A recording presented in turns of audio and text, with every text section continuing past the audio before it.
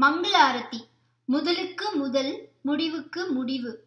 இந்த ராமேஸ்வரம் ஸ்ரீ சங்கர மண்டபத்தில் மத்தியமான ஸ்தம்பத்தின் உச்சியில் நடுநாயகமாக ஸ்ரீ சங்கர பகவத் பாதால் எழுந்தருளி இருக்கிறார் பின்னால் இருக்கிற நூல் நிலையம் வெறும் ஹாலாக இல்லாமல் சரஸ்வதி தேவியை பிரதிஷ்டை செய்ததால் சரஸ்வதி மகாலாக மகா ஆலயமாக இருக்கிறது.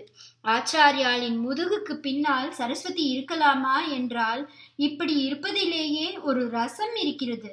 பிரம்மாவின் அவதாரமான மண்டன மிஸ்ரரை ஆச்சாரியால் வாதத்தில் ஜெயித்த பின் அவருடைய பத்னியும் சரஸ்வதி அவதாரமுமான சரசுவாணியையும் ஜெயித்தார்.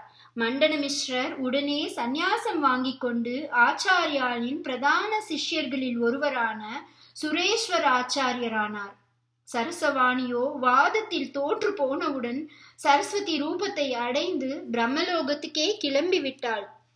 ஆனாலும் ஆச்சாரியால் பூலோகத்தில் ஒரு நல்ல இடத்தில் அவளை இருக்கும்படியாக பண்ணி அவளுடைய சாநித்தியத்தால் ஜனங்களுக்கு வித்யா பிரகாசத்தை உண்டாக்க வேண்டும் என்று நினைத்தார். அதனால் ஆகாசத்தில் கிளம்பியவளை வனதுர்கா மந்திரத்தில் கட்டி மேலே போக முடியாதபடி பண்ணினார்.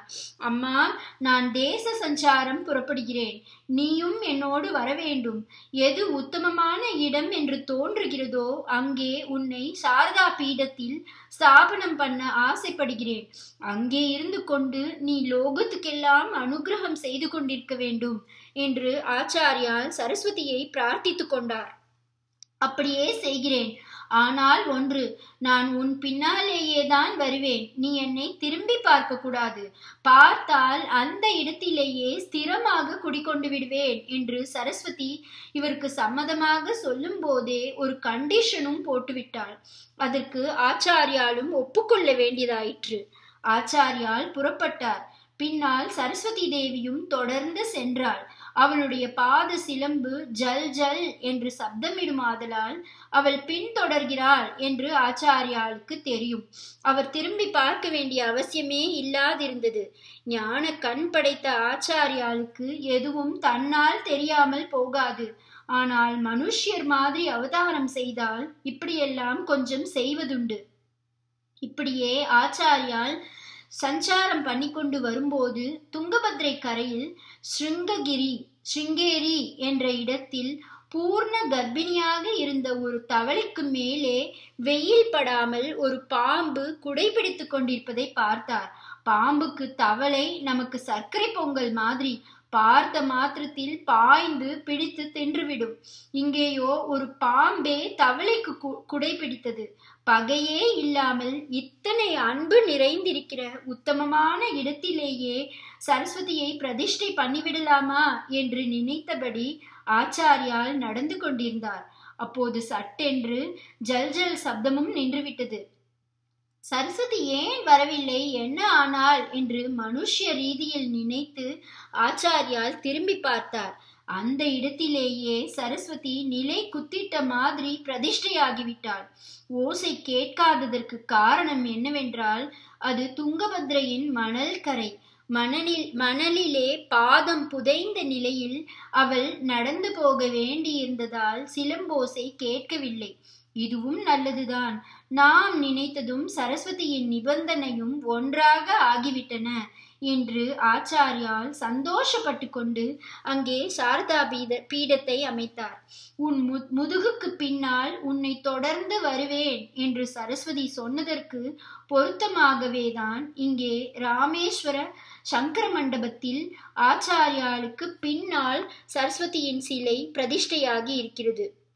ஒரு புஸ்தகம் எழுதினால் அதில் முதலில் குரு வந்தனம் அப்புறம்தான் பிள்ளையார் ஸ்துதி கூட. மூன்றாவதாகவே சரஸ்வதி ஸ்துதி என்று கிரமம் இருப்பதை பார்த்தாலும் சரஸ்வதிக்கு முன்னால் ஆச்சாரியால் இருப்பது பொருத்தமே. அது சரி. அப்படியானால் எல்லாவற்றுக்கும் கடைசியில் மங்களம் என்று முடிக்கிற சமயத்தில் ஸ்தோத்திரம் செய்யப்பட வேண்டிய ஆஞ்சநேய சுவாமி இங்கே வாசலிலேயே ஆச்சாரியாளுக்கும் முந்தி எடுத்த எடுப்பிலே இருக்கிறாரே. இது எப்படி பொருந்தும் என்று தோன்றலாம். அந்த ஆஞ்சநேய சுவாமி தாமாகவே முதலில் வந்துவிட்டவர். புதிதாக இங்குள்ள மற்ற மூர்த்திகளை செய்தது போல அவரை செய்யவில்லை. இந்த இடத்தில் அவர் ஆதியிலிருந்தே இருக்கிறவர். அவர் இருந்த இடத்திற்குத்தான் இப்போது ஆச்சாரியாலும் வந்து சேர்ந்திருக்கிறார். ஆஞ்சநேயரிடம் ஆச்சாரியால் வந்து சேர்ந்ததில் ஒரு பொருத்தம் தெரிகிறது. ஸ்ரீ ருத்ரத்தை கணம் என்ற கிரமத்தில் சொல்கிறபோது நம் ஆச்சாரியாலின் நாமமான சங்கர என்பது பதிமூன்று முறை வருகிறது. பதிமூன்று அன்லக்கி துரதிருஷ்ட நம்பர் என்பது நம் சாஸ்திரப்படி தப்பு நல்லதையெல்லாம் செய்கிறவர் என்று பொருள்படுகிற சங்கர நாமம் பதிமூன்று முறை வருவதும் இதற்கு ஒரு சான்று. ருத்ராம்சம்தான் ஆஞ்சநேயர். அவர் எப்போது பார்த்தாலும் பதிமூன்று அக்ஷரம் கொண்ட ஸ்ரீராம் ஜெயராம் ஜெய ஜெயராம் என்ற மந்திரத்தையே ஜபித்து கொண்டிருப்பவர்.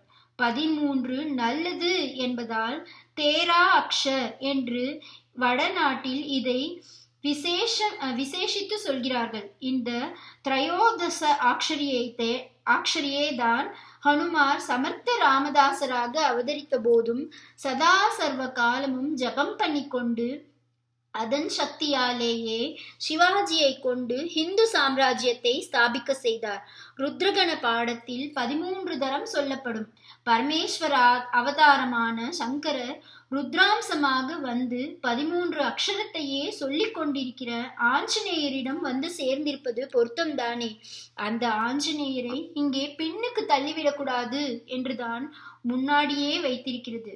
அவர் எப்படி இருக்கிறார்? ஒரு கையை மேலே தூக்கி விரித்து கொண்டிருக்கிறார்.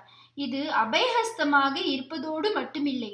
நில் என்று கையை உயர்த்தி ஆக்ஞை இடுகிற மாதிரியும் இருக்கிறது. எதிரே பெரிய சமுத்திரம் இருக்கிறதல்லவா? அது இந்த ராமேஸ்வர க்ஷேத்திரத்தில் அலையை குறைத்து கொண்டு குளம் மாதிரி அடங்கி இருப்பதற்கு என்ன காரணம்? அந்த சமுத்திரத்துக்குத்தான் மேலே வராதே. நில் என்று கையை தூக்கி ஆஞ்சநேய சுவாமி உத்தரவு போடுகிறார். அதற்கு சமுத்திர ராஜாவும் ஆயிரம் பதினாயிரம் வருஷமாக அடங்கி வந்திருக்கிறார். அதனால் அவர் நேரே சமுத்திரத்தை பார்த்து கொண்டு அவருக்கும் சமுத்திரத்துக்கும் குறுக்கே வேறு எந்த மூர்த்தியும் வராமல் இப்படி வாசலிலேயே இருப்பதுதான் நமக்கு க்ஷேமம். எல்லாவற்றுக்கும் முடிவிலே வருகிறவர் எல்லாவற்றுக்கும் முன் வர வேண்டிய ஆச்சாரியாளுக்கும் முன்னே வரலாமா என்பதற்கு நியாயம் சொல்கிறேன். சரஸ்வதி உனக்கு பின்னால் நான் இருப்பேன் என்று சொன்னதால் அவள் வாக்கை மதிப்பதுதான் அவளுக்கு பிரீத்தி என்று இங்கே அவளை ஆச்சாரியாளுக்கு பின்னால் வைத்திருக்கிறதோ இல்லையோ? இதே மாதிரி ஆச்சாரியால் எனக்கு முன்னால் நீ எப்போதும் பிரகாசித்து கொண்டிரு அப்பா என்று ஆஞ்சநேய சுவாமியை வேண்டிக் கொண்டிருக்கிறார். ஹனுமத் பஞ்சரத்னம் என்று ஆஞ்சா ஆச்சாரியால் ஆஞ்சநேயர் மேல் ஐந்து ஸ்லோகங்கள் கொண்ட ஒரு அற்புதமான ஸ்துதி செய்திருக்கிறார். ஸ்தோத்தரிக்கப்பட்டவர் ருத்ராம்சம். ஸ்தோத்திரிப்பவர் சிவ அவதாரம். ஒரே வஸ்துதான். இப்படி இருந்தும் ரெண்டு பேரும் வினயத்துக்கு வடிவமாக இருந்தவர்கள். மகா சக்திமான்களாக இருந்தும் மகா புத்திமான்களாக இருந்தும் எப்போதும் அடக்கமாக இருந்த இருவர் இவர்கள். இவர்களில் ஆஞ்சநேயரை ஆச்சாரியால் வினயத்தோடு வேண்டிக் கொண்டு ஸ்தோத்திரம் செய்கிறார். அதில் ஒரு ஸ்லோகத்தில் புறத்தோ மம பாது ஹனுமதோ மூர்த்தி என்று வருகிறது. மம எனக்கு புறத்தோ முன்னால் ஹனுமதோ மூர்த்தி மூர்த்தி ஆஞ்சநேய சுவாமியின் உருவம். பாது பிரகா பிரகாசிக்கட்டும். தனக்கு முன் ஆஞ்சநேயர் ஜொலித்து கொண்டிருக்க வேண்டும் என்று ஆச்சாரியாலே வேண்டிக் கொண்டிருப்பதால் அவருக்கு முன் ஸ்தானத்தில் இங்கே ஆஞ்சநேயர் இருப்பதுதான் பொருத்தம். அதுதான் அவருக்கு பிரீத்தி. ஆரம்பமும் முடிவும் ஒன்றுதான். ஆதியும் அந்தமும் ஒன்றுதான். நாம் தேடிக்கொண்டே போகிற பரம்பொருள் கடைசியில் எல்லா தேட்டகத்துக்கும் முதல் நினைப்பாக இருக்கிற நான் என்பதாகத்தான் முடிகிறது. இதுதான் அத்வைத்தம். ஆகையால் கடைசியில் வரவேண்டிய ஆஞ்சநேய சுவாமி இங்கே முதலில் வரும் குருவுக்கும் முன்னால் வருவதே அத்வைத்தத்துக்கு விளக்கமாகத்தான் இருக்கிறது. தாசோகம் அடிமையாக இருக்கிறேன் என்று ஸ்ரீ ராமச்சந்திரமூர்த்தியிடம் தாசனாக இருந்தே சோகம் என்கிற பரமாத்மாவே நான் என்று உணர்கிற அத்வைத பாவத்தை அடைந்தவர் ஆஞ்சநேயர் என்று சொல்வதுண்டு. இதனால் அவரே முதலுக்கு முதலாகவும் முடிவுக்கு முடிவாகவும் இருப்பவர்தான்.